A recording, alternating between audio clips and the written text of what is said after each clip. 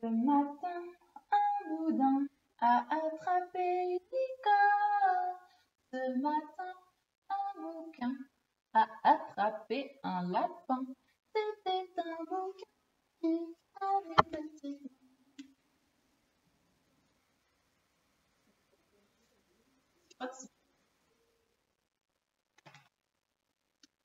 Épingline est une vieille dame hérissonne charmante qui tient un salon de coiffure dans la forêt. Tous les animaux fréquentent sa boutique, au pied du chêne. Selon eux, Épingline est la plus gentille personne des bois. Elle sourit toujours, rend des services, écoute les histoires de chacun, propose des noisettes ou du sirop de groseille. De plus, cette formidable coiffeuse accomplit des merveilles avec ses peignes, ses ciseaux, ses couleurs.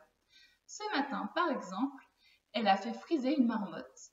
Elle a dressé un splendide chignon sur la tête d'une demoiselle écureuil et a transformé une banale souris grise en souris arc-en-ciel.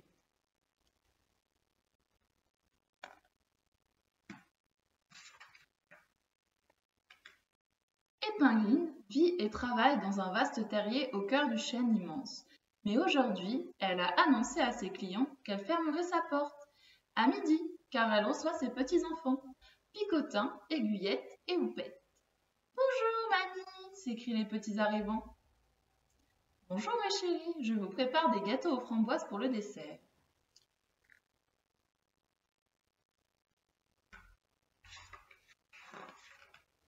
Dans l'herbe, devant le terrier, Picotin, Aiguillette et Houppette goûtent aux friandises d'épingline. Picotin s'interroge en indiquant la pancarte au-dessus de la porte. Mamie, qu'est-ce qu'il y a écrit? Qui s'y frotte, s'y pique. Pourquoi as-tu pourquoi as-tu affiché ça devant la maison? Pour avertir les gens. De quoi? Tu le comprendras un jour. Épingline passe un après-midi joyeux en créant des coiffures rigolotes pour ses trois petits-enfants. Tout le monde rit, on se sent si bien auprès d'Épingline.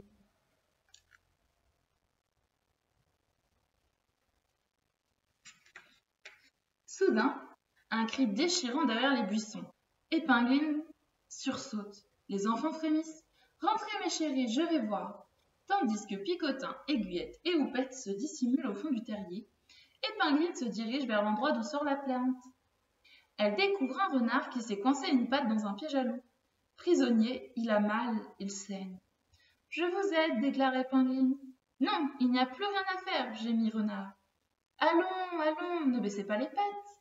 Épingline attrape une pierre, l'introduit dans le piège et avec patience, habileté, obstination, le débloque.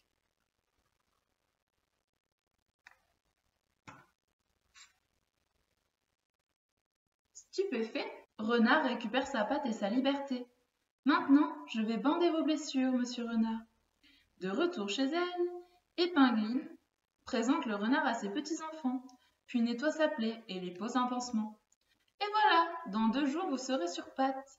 Comment vous remercier, chère Madame Épingline Évitez juste de retomber dans un piège. Au revoir, monsieur Renard.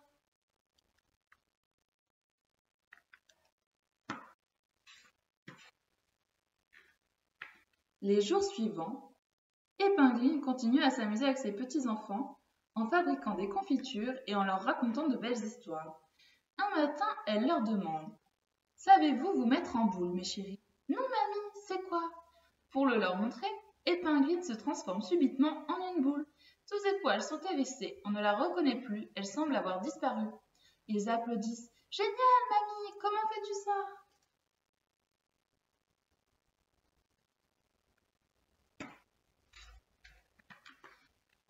Épingline redevient normale. Une mamie bien coiffée. Elle leur avoue. Franchement, je l'ignore. Je pense en boule et je me retrouve en boule. À leur tour, les enfants se concentrent en se disant en boule. Seulement, ils n'arrivent pas à grand-chose. Leurs petits poils se redressent un peu, mais leur transformation n'impressionne pas autant que celle de mamie. Pas d'inquiétude, mes chéris, cela viendra naturellement avec l'âge. Hélas, Épingline, Picotin, Aiguillette et Houppette n'ont pas noté que deux yeux les fixent à travers un buisson. Le renard les espionne.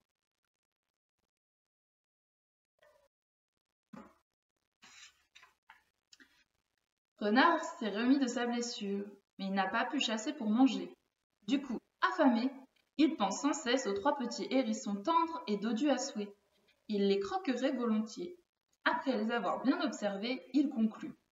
Ils sont lents, ils ne se battent pas. Je me débarrasserai facilement de la mamie avec mon astuce. Et je pourrai me régaler d'un festin de délicieux petits hérissons.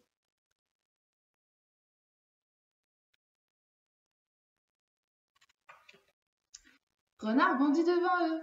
Madame Épingle, partez immédiatement, votre arbre va tomber. Le chêne, mais il va s'effondrer, vous dis-je. Vous ne remarquez pas la fente, là-haut dans le tronc? Et Renard désigne un endroit que ni Épingle ni ses petits, trop courts sur pattes, ne peuvent apercevoir, même sur la pointe des griffes. Épingline se retourne vers Renard et fronce les sourcils. Monsieur Renard, vous ne vous moqueriez pas de moi en ce moment? Lisez la pancarte au-dessus de ma porte. Qui s'y frotte s'y pique. Décampez et le renard, comprenant qu'il allait s'échouer, s'éloigne tête basse.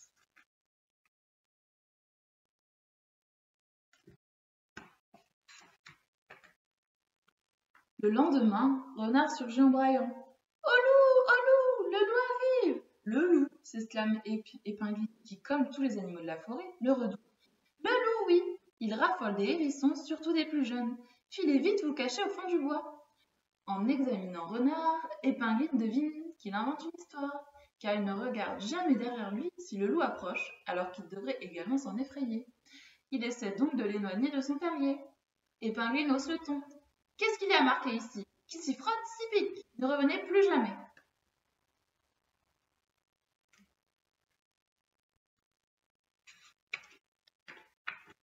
Le lendemain, Renard se déguise en loup. Il a badigeonné sa fourrure rouge avec du charbon, du charbon afin de la noircir et ouvre largement les mâchoires en imitant des hurlements féroces.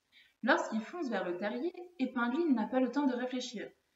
Croit qu'il s'agit du loup et ordonne aussitôt à ses petits enfants En boule Épingline devient une grosse boule. Pour la première fois, Picotin, Aiguillette et Houppette y parviennent aussi.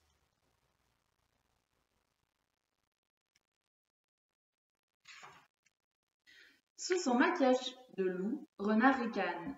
Une boule, ça roule, je vais l'envoyer valser au loin, cette mamie. Il saisit Épingline dans sa gueule.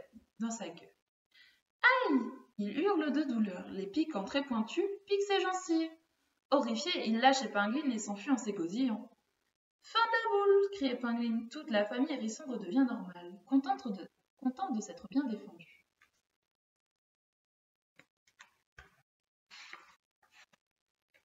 Quel vilain dit Picotin. Alors que tu l'as secouru, mamie, il voulait nous attaquer. Il avoue que tu étais gentil, dévoué, ajoutait Guyette, et il a tenté d'en profiter. Eh oui, il ne s'est pas méfié de moi, répond Épingline en rigolant. Pourtant, je l'avais prévenu. Compris, s'exclament les petits enfants. Voilà ce que signifie la pancarte au-dessus de l'entrée. Qui s'y frotte s'y pique. Voilà.